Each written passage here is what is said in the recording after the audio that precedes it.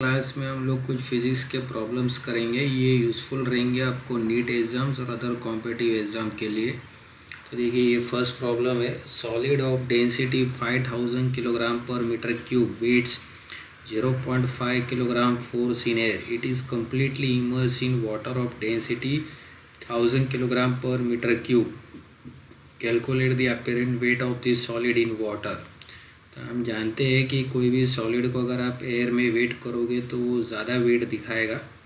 लेकिन वाटर में अगर आप वेट करने जाओगे तो उसका वेट बेसिकली कम हो जाएगा। तो अगर आप देखिए तो देखिए, पहले हम ऑब्जेक्ट को अगर एयर में वेट करते हैं तो ये देखिए, ये यहाँ पर मैंने ये एक स्प्रिंग बनाया हुआ है। तो ये अगर हम ऑब्जेक्ट लेते हैं और इसको अगर हम एयर में अगर वेट करते हैं तो ये देखिए एयर में। तो ये हमारा ऑब्जेक्ट है। राइट और ये देखिए ये यहाँ पर ये स्प्रिंग का पुल है। और ये यहाँ पर नीचे इस ऑब्जेक्ट के ऊपर क्या है, ये वेट है, यानी ग्रेविटेशनल फोर्स है। तो यहाँ पर ये स्प्रिंग इस मास को पुल कर रहा है। राइट ये स्प्रिंग इस मास को ये पुल कर रहा है तो मास भी ये स्प्रिंग को पुल करेगा। ये देखिए तो ये मास भी ये स्प्रिंग को यहाँ पर पुल करेगा। और इसके वजह से जो इसका पॉइंटर है, ये देखिए, ये पॉइंटर यहाँ पर पुल हो जाएगा। तो ये यहाँ पर उसकी वेट दिखा रहा है।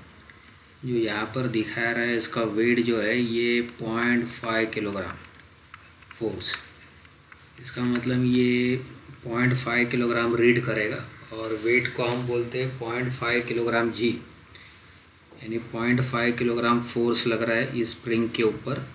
तो ये पॉइंटर रीड करेगा पॉइंट फाइव किलोग्राम अब यही पूरे सिस्टम को हम लोग क्या करेंगे? वाटर के अंदर डालेंगे। तो जब इस पूरे सिस्टम को हमने देखे यहाँ पर मैं एक वेसल बना रहा हूँ। तो ये देखिए, ये एक यहाँ पर मैं एक वेसल बना रहा हूँ। तो इस वेसल के अंदर हमने लिक्विड भरा हुआ है। और इस लिक्विड के अंदर अभी हम लोग क्या कर रहे हैं? ये सिस्टम को पूरा इमर्स करेंगे। तो जब ये स्प्रिंग को मैंने यहाँ पर इमर्स किया हुआ है। ये देखिए, ये स्प्रिंग को मैंने यहाँ पर इमर्स किया हुआ है।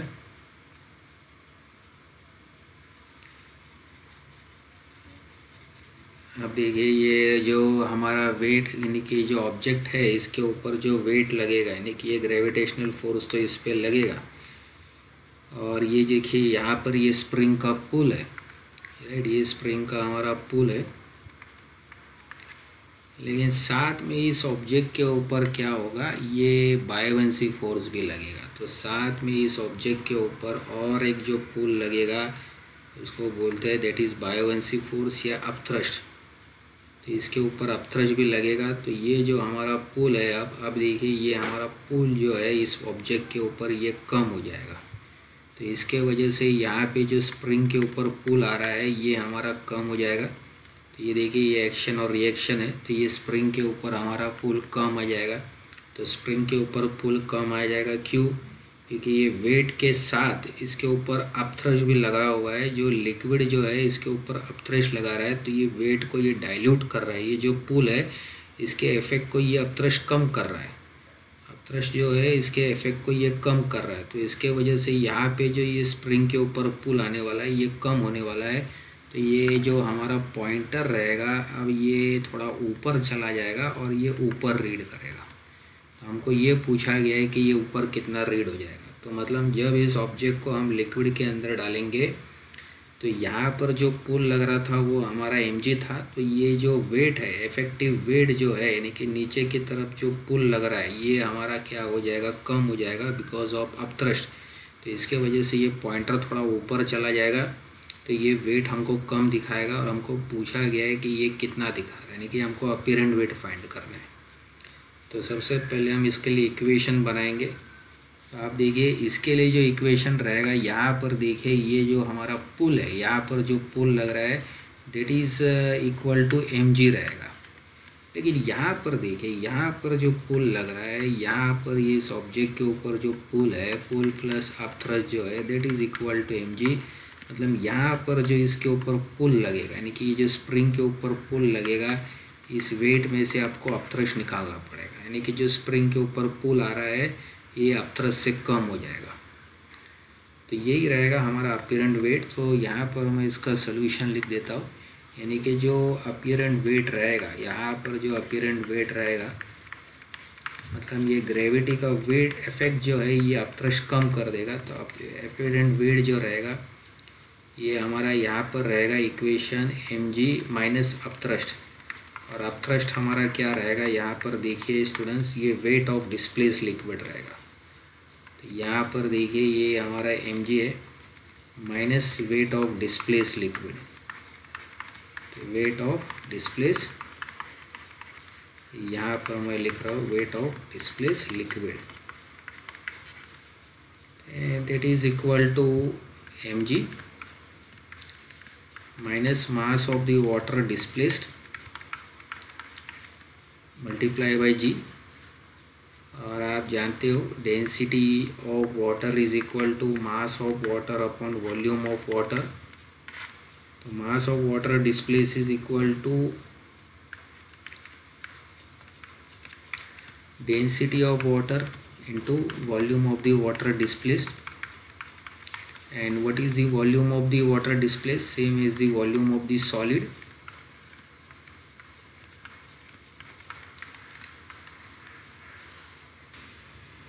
अब देखिए, अब हम न्यूरिकल वैल्यूज़ पुट करेंगे। तो एम जो रहेगा, ये वेट ऑफ़ द सॉलिड है। Weight of the solid in air that is देखिए पॉइंट फाइव किलोग्राम फोर्स है। तो मैं यहाँ पर इसको जी के टर्म्स में लिखता हूँ। That is point five kilogram तो उसका मास हो गया। और जब जी से मल्टीप्लाई हो जाएगा तो ये वेट हो जाएगा मतलब पॉइंट फाइव किलोग्राम फोर्स और डेंसिटी ऑफ़ वाटर जो हमारे पास यहाँ पर है थाउज़ेंड है। अब रहता है हमको वॉल्यूम ऑफ़ सॉलिड निकालना तो वो हम ये इन्फॉर्मेशन से निकाल सकते हैं मास अपॉन डेंसिटी वॉल्यूम जो है, ये मास और डेंसिटी को डिवाइड करना पड़ेगा तो सॉलिड की डेंसिटी दी हुई है मास दी हुई है, यानी पॉइंट फाइव को फाइव थाउज़ेंड से डिवाइड करना पड़ेगा। तो ये देखिए, ये पॉइंट फाइव मैं नोमरेटर पे यहाँ पर लिखता हूँ, और इसको डिवाइड करता हूँ फाइव थाउज़ेंड से। तो ये भी हमारा क्या आएगा यहाँ पर किलोग्राम फोर्स आएगा। अब क्या हो जाएगा? पॉइंट फाइव ये थाउज़ेंड अब इसको हम ऐसा लिख सकते हैं, अगर कैलकुलेशन करने जा रहे हैं, इसको हम ऐसा लिख सकते हैं point kilogram force minus thousand into point five divide by five into ten raise to power thousand तो ये कैंसिल हो जाएगा। देखिए यहाँ पर। अब देखिए नेक्स्ट स्टेप पे तो आप देखिए नेक्स्ट स्टेप में हम इसको ऐसा लिख सकते हैं that is point five kilogram force point five by one point five divide by five आपका पॉइंट वन आएगा minus point one kilogram force तो इसका मतलब ये जो हमारा आंसर रहेगा that is point four kilogram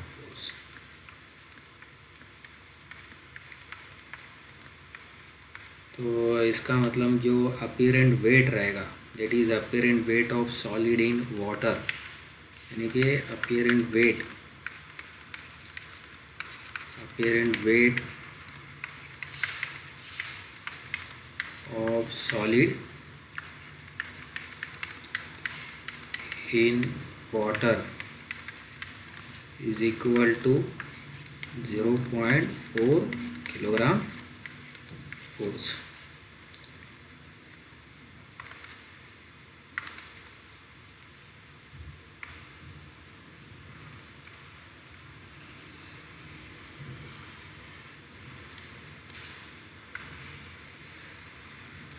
तो ये देखिए, ये इसका आंसर है। इसका मतलब यहाँ पर जो स्प्रिंग के ऊपर जो फोर्स आएगा, वो कम आएगा। तो स्प्रिंग के ऊपर जो पुल रहेगा, ये देखिए, ये स्प्रिंग के ऊपर जो पुल रहेगा, यानी कि ये स्प्रिंग के ऊपर जो पुल रहेगा, यानी कि ये जो स्प्रिंग इसके ऊपर एक्शन कर रही है ऑब्जेक्ट के ऊपर। तो स्प्रिंग को रिएक्शन मिलेगा तो स्प्रिंग के ऊपर पुल जो रहेगा, ये कम आएगा। तो ये देखिए, ये पॉइंट फाइव किलोग्राम नहीं रीड करेगा, अभी ये पॉइंट फोर किलोग्राम हम यहाँ पर आंसर लिखेंगे देट इज़ ये point four kilogram force read करेगा। यानी कि पॉइंट फोर किलोग्राम रीड करेगा। अब नेक्स्ट प्रॉब्लम की तरफ़ बढ़ते तो ये देखिए, ये प्रॉब्लम है कि metal cube of edge that is five centimeter मतलब मेटल क्यूब है, उसकी साइड फाइव सेंटीमीटर है। और डेंसिटी दी गई है nine grams per centimeter cube is suspended by thread so as to be completely immersed in a liquid of density 1.2 grams per centimeter cube find the tension in the thread तो इस question के अंदर दिया गया है कि आपको एक लिक्विड दी गई है आपको एक लिक्विड दी गई है और यहाँ पर दिया गया है कि इस लिक्विड के अंदर हमें क्या करना है? एक मेटल क्यूब को डालना है, जिसकी साइड है फाइव सेंटीमीटर तो हम इसके अंदर एक मेटल क्यूब को डालेंगे, जिसकी साइड है यहाँ पर फाइव सेंटीमीटर तो देखिए, ये हमने यहाँ पर एक मेटल क्यूब को डाला हुआ है. तो हमने यहाँ पर एक मेटल क्यूब को डाला हुआ है, जिसकी साइड है फाइव सेंटीमीटर देखिए, यहाँ पर. और यहाँ पर साफ़ दिया गया है कि ये मेटल क्यूब है मतलब इसकी साइड जो है, ये फाइव सेंटीमीटर यानी कि हर साइड इसकी फाइव सेंटीमीटर है। हर साइड जो है, इसकी ये फाइव सेंटीमीटर है। ये देखिए। अब इसकी डेंसिटी भी दी गई है nine grams per centimeter cube it is suspended by a thread यहाँ पर ये थ्रेड लगाया जा रहा है तो ये देखिए, ये सस्पेंडेड बाय अ थ्रेड यानी कि ये थ्रेड से सस्पेंड किया जा रहा है।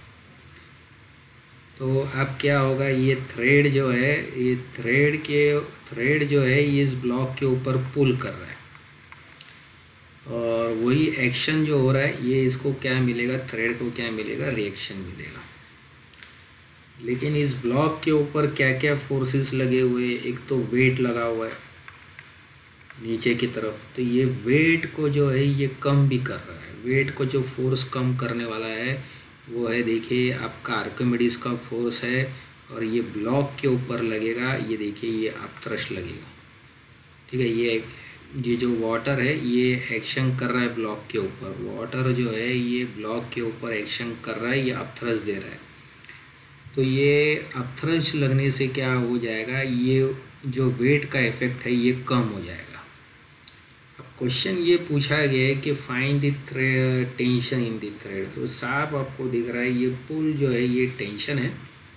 तो इक्वेशन हम बना सकते हैं इसके लिए कि आप ये इक्वेशन बना सकते हो कि पुल पुल यानी कि ये टेंशन है। Pull plus upthrust is equal to M G right and our pulling force को हम लोग क्या बोलते हैं? That is tension always pulling force को हम बोलते हैं टेंशन तो tension is equal to M G minus upthrust यानी वेट का इफ़ेक्ट जो है, ये अपथ्रस्ट कम कर रहा है।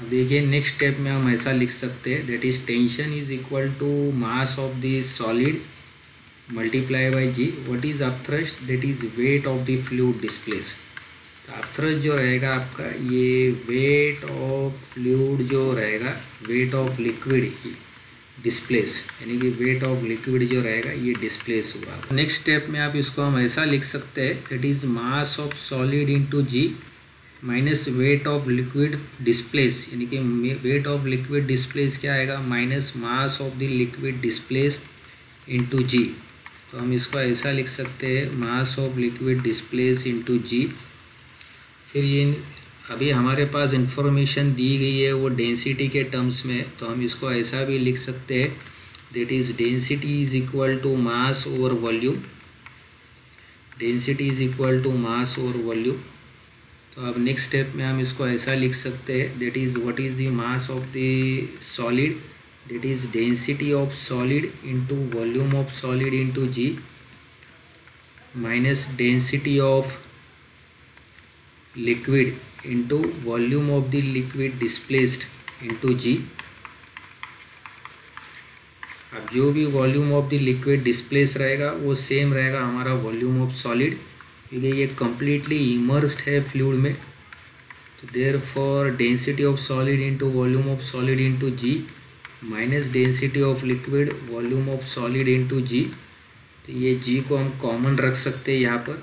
ये देखिए हम जी को यहाँ पर कॉमन रख सकते हैं। Density of solid into volume of solid minus density of liquid into volume of solid into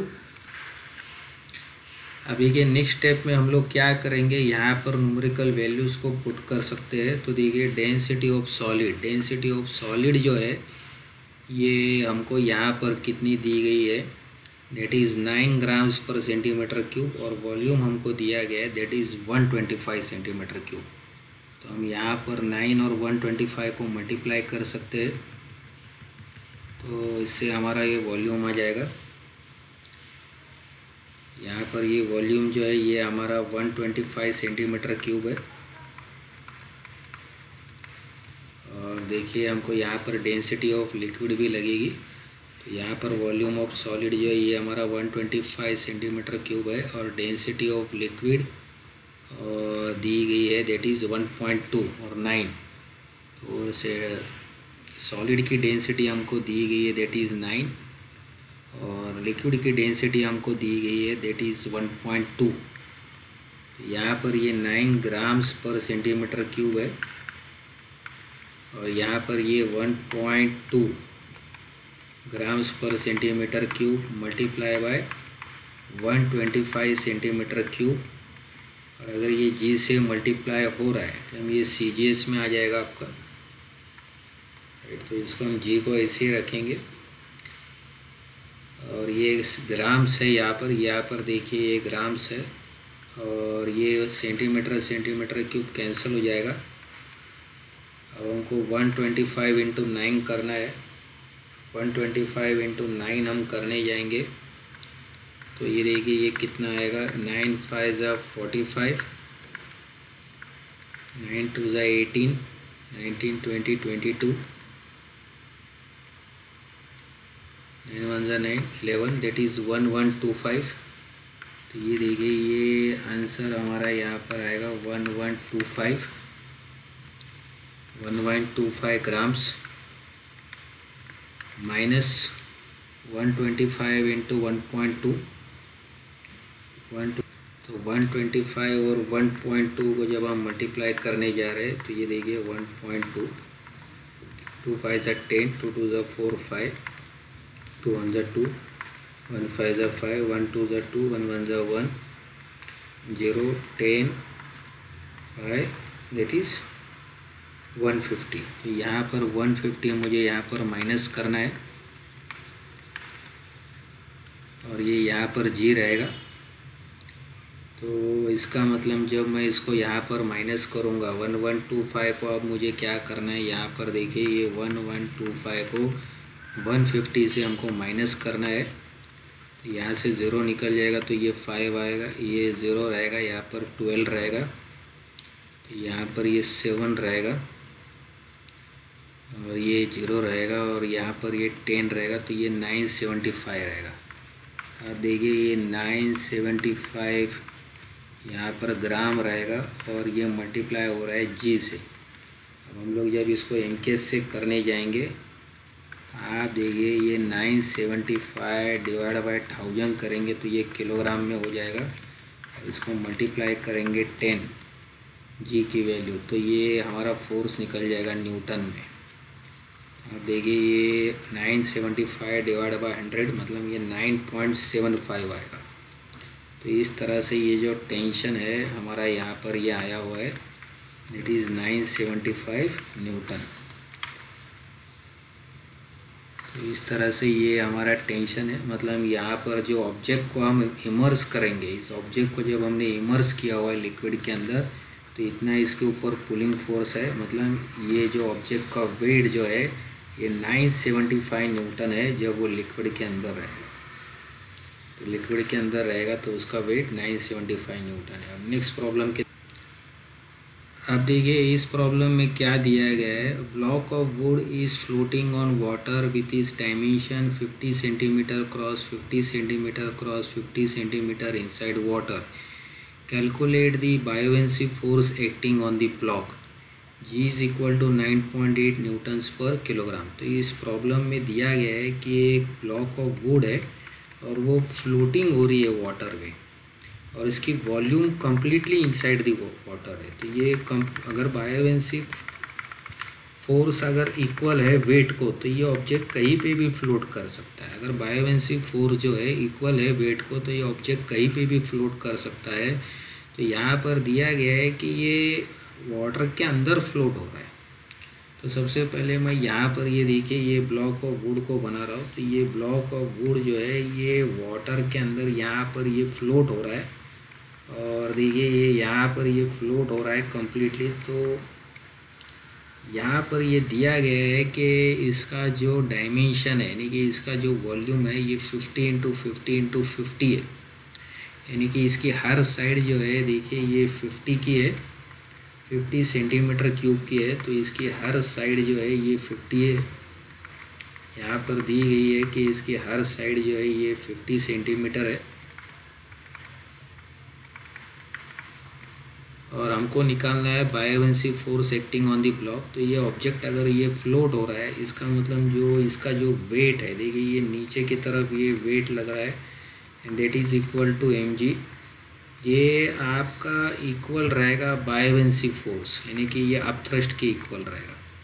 तो अब इस प्रॉब्लम को हम सॉल्व करेंगे, हम यहाँ पर लॉ ऑफ़ फ्लोटेशन यूज़ करेंगे।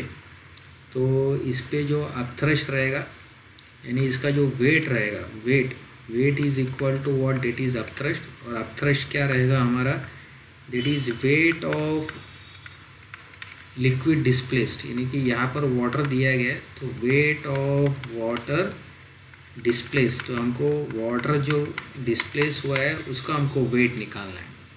तो यहाँ पर देखिए, जो मास ऑफ़ वाटर डिस्प्लेस रहेगा, जो हमारा मास ऑफ़ वाटर जो डिस्प्लेस रहेगा,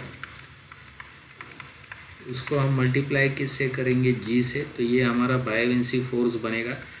और हमारे पास यहाँ पर कोई मास की इंफॉर्मेशन नहीं दी गई है, लेकिन वॉल्यूम का इंफॉर्मेशन है। तो density of water into volume of the water displaced and that is equal to uh, volume of the solid that is equal to volume of the solid रहेगा that is equal to density of water multiply by volume of solid into g अब देखिए volume density of अब हम numerical values को put करेंगे density of water जो हमारा thousand है अब ये वॉल्यूम यहाँ पर दिया गया है fifty into fifty into fifty, यानी तीन बार ये मल्टीप्लाई हो रहा है तो सेंटीमीटर क्यूब आएगा।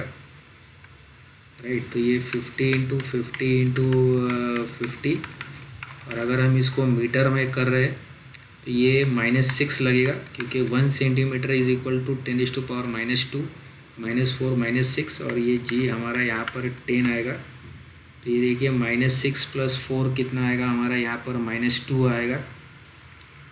तो इसका मतलब ये जो रहेगा, यहाँ पर हमारा fifty into fifty into fifty minus three plus यहाँ पर देखिए ये माइनस सिक्स प्लस थ्री कितना आएगा? यहाँ पर माइनस थ्री आएगा। माइनस थ्री प्लस वन यानी कि माइनस टू आएगा। और ये थ्री बार फाइव है। तो one twenty five into ten raise to power three multiply by ten raise to power यहाँ पर माइनस टू रहेगा। तो देखिए ये फाइनल आंसर जो रहेगा हमारा यहाँ पर स्टूडेंट्स ये आएगा one two five into ten raise to power one यानी कि one two five zero newton इसका मतलब इतना वायवेंसी फोर्स लगेगा। तो देखिए इस प्रॉब्लम का आंसर क्या रहेगा? दे फॉर बायोवेंट फोर्स जो हमारा रहेगा यहाँ पर, इस क्वेश्चन के अंदर there for the buoyant force is equal to one two five zero newton रहेगा। तो इसका आंसर है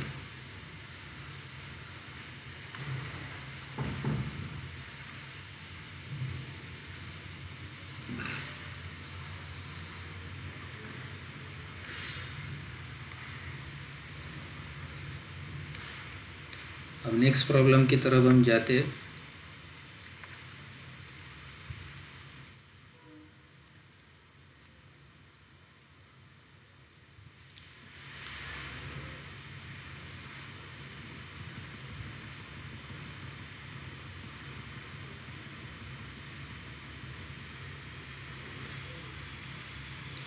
अब नेक्स्ट प्रॉब्लम की तरफ़ हम चलते हैं। तो देखिए, अब ये नेक्स्ट प्रॉब्लम है।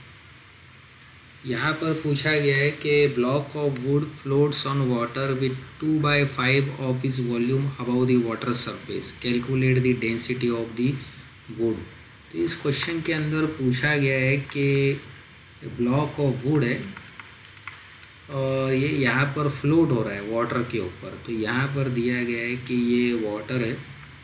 ये स्टूडेंट्स ये वाटर है और ब्लॉक ऑफ़ वुड जो है, ये यहाँ पर फ्लोट हो रहा है और ये सरफेस पे ये फ्लोट हो रहा है, लेकिन कुछ पार्ट जो है, इसका above the water water surface है।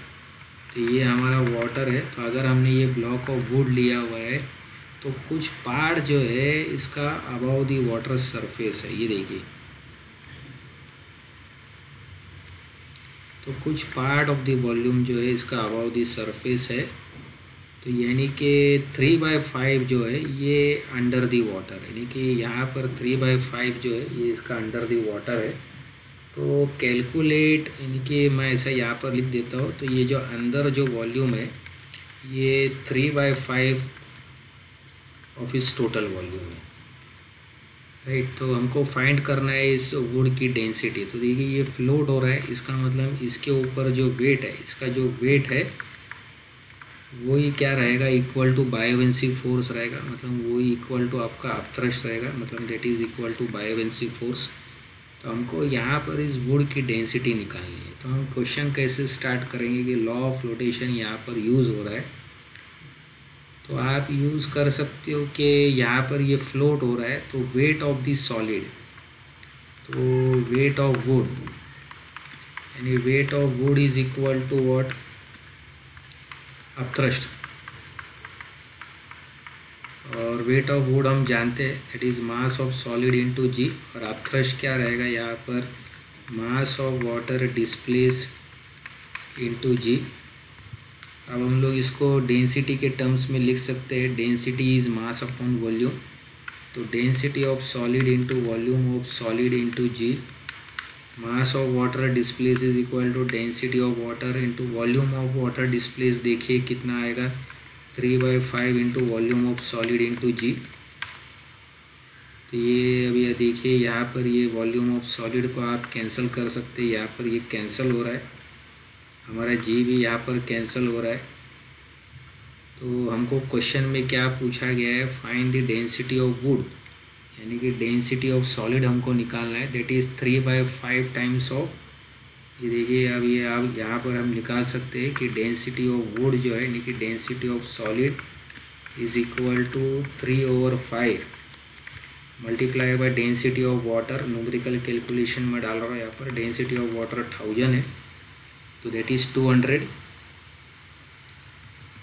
तो there for density of wood देखिए आपका कितना आएगा। यहाँ पर अगर आप कैलकुलेशन कैंसिल करोगे फाइव वन ज़ा फाइव फाइव टू ज़ा ten that is two hundred that means ये आपका सिक्स हंड्रेड आएगा। तो three into two is equal to six hundred six hundred kilogram per meter cube तो इसका मतलब ये हमारा फाइनल आंसर है। That is density of wood is equal to 600 kilogram per meter cube.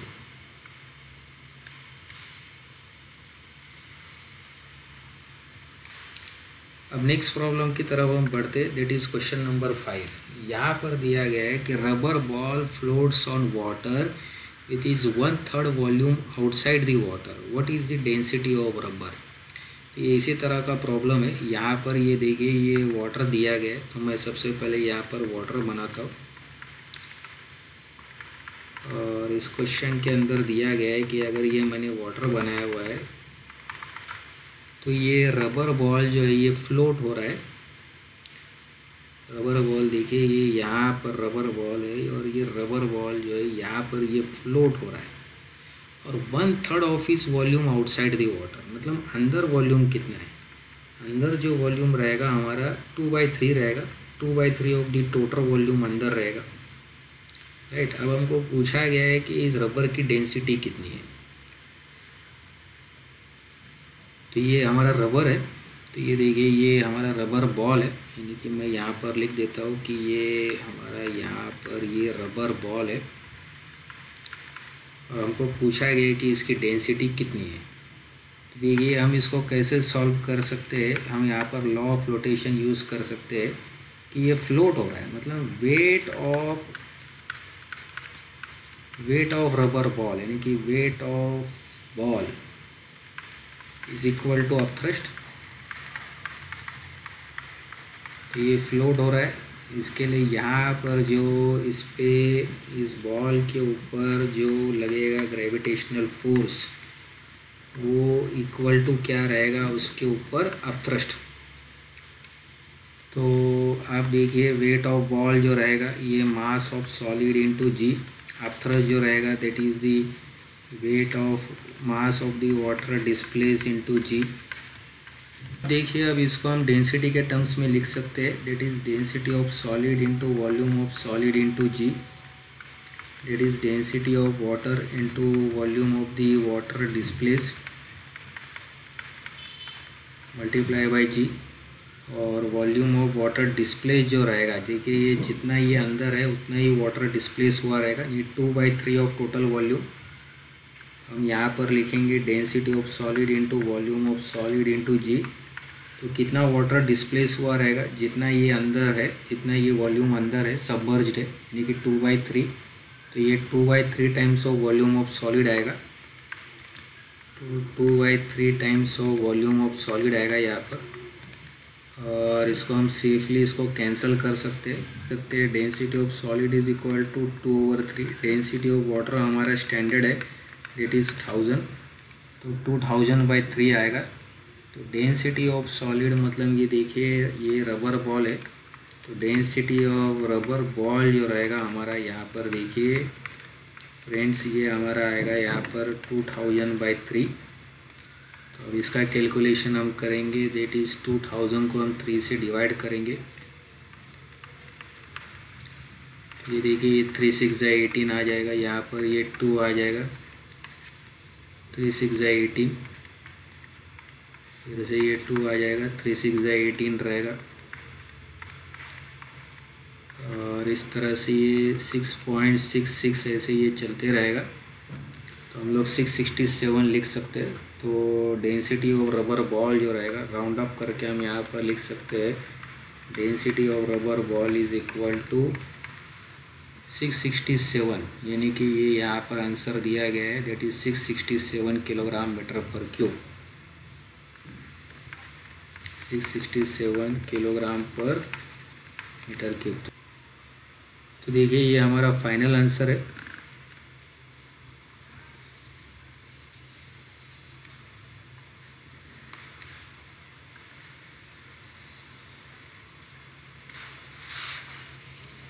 So I hope students it is clear to all of you. Thank you everybody.